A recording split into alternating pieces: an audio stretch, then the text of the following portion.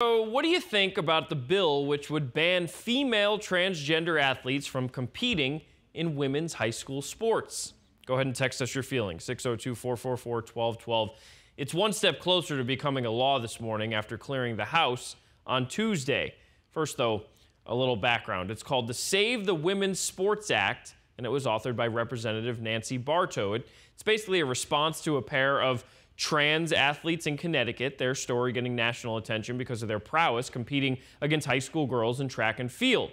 Now, on Facebook, Barto says women's opportunities for which they have fought hard for for the last 50 years are being destroyed because the playing field they fought to level is now uneven again.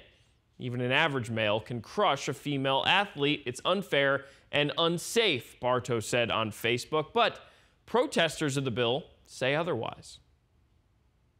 This bill is a horrible example of government overreach. It's incredibly intrusive into the lives of Arizona families, especially Arizona's children, and it's harmful to transgender people in general. These kind of bills send a message to trans kids especially who are at a much higher risk of suicide than cisgender kids that says you are not deserving and you don't belong here. And we want Arizona's trans kids to know they are deserving, they do belong here, and we're here to fight for their rights. All right, so we have been asking you this morning to weigh in, and here's what some of you are saying. It's horrible.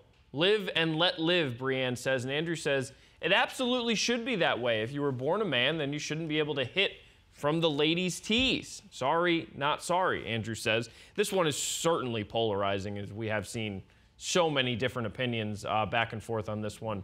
Um, try and keep it civil on there on Facebook this morning. But yeah, we're getting a lot of comments on this, and and there's you know reasonable arguments on both sides. Yeah, I think people are very passionate on both sides for sure, and I have a hard time with this one. It's not clear cut.